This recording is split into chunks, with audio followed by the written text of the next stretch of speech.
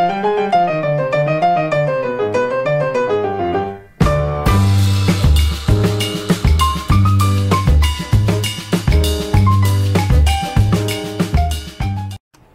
y bienvenidos a mi canal, mi nombre es Ida y hoy les voy a traer cómo hacer arroz griego.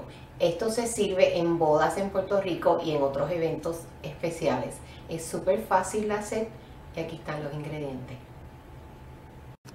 Aquí tengo tres tazas de arroz grano largo. Yo compro la marca de la tienda, yo no tengo marca específica. Aquí tengo 8 onzas de tocineta o tocino, bacon, que lo corté finitito. Miren cómo lo corté, ¿ven? En lascas finititas.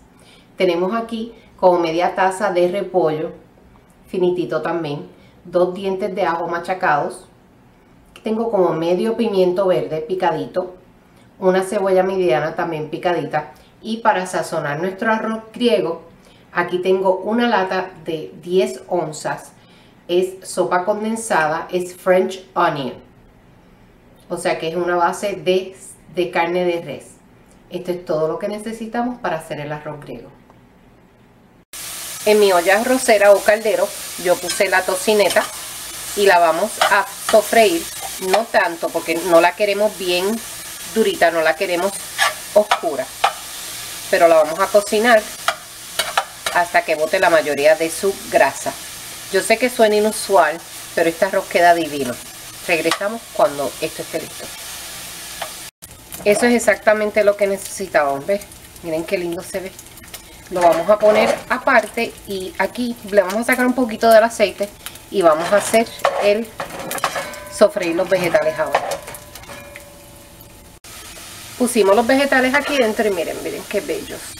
Y no se preocupen por la, los curitos de la parte de abajo de la tocineta. Eso mientras se van sofriendo los vegetales, eso va levantando y le va a dar mucho mejor sabor. Ya le añadí el arroz. Normalmente yo no enjuago el arroz cuando lo cuando lo hago mixto. Le vamos a echar la tocineta y lo vamos a menear. Ese es el ruidito que necesitamos. Que se esté moviendo. Mire qué bello se ve. Normalmente yo no le echo. Aquí tengo dos tazas de agua y lo voy a medir a ver si necesito más agua o no. Y si les gustó este video, deditos arriba. Y mejor todavía, suscríbete a mi canal. Vamos a ver el truquito famoso. Hace tiempo que no lo hago. So vamos a hacerlo.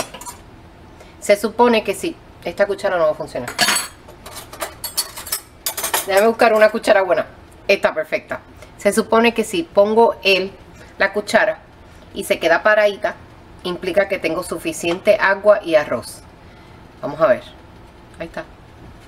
Perfecto. Lo vamos a dejar a fuego mediano alto. Está mi estufa va de 0 a 10. Está en 7 ahora mismo. Y lo vamos a dejar, lo vamos a probar. Para la sal. Y está perfecto. No necesita nada. Lo vamos a dejar hasta que se reseque. Y después lo vamos a tapar. Pero regresamos cuando lo tenga que mover. Han pasado como 5 minutos y miren cómo se tiene que ver. Qué bello. Este arroz es divino. Y el ruido favorito de todo el mundo. lo vamos a bajar a mediano bajo, como a 2 o 3 y lo vamos a dejar tranquilito por 10 minutos. En 10 minutos vamos a regresar y lo vamos a mover. Ya han pasado como 10 minutos y miren la diferencia en el arroz. Le eché repollo, el repollo se echa ahora. Y lo vamos a mover volver a tapar y lo vamos a dejar como 10 minutitos más y después va a ser hora de probarlo. Aquí lo tienen mi versión de arroz griego. Miren qué bello se ve miren qué miren qué granocito queda. Ves que ven todos los pedacitos hasta el, el repollo. Y el repollo es opcional si no quieren echárselo no se lo tienen que echar. So deditos arriba para este video. Y todas las redes sociales mías van a estar en la cajita de descripción en la parte de abajo, mi Facebook y mi Instagram. No hay más nada que decir que buen provecho. Hmm. Hmm. Trátalo.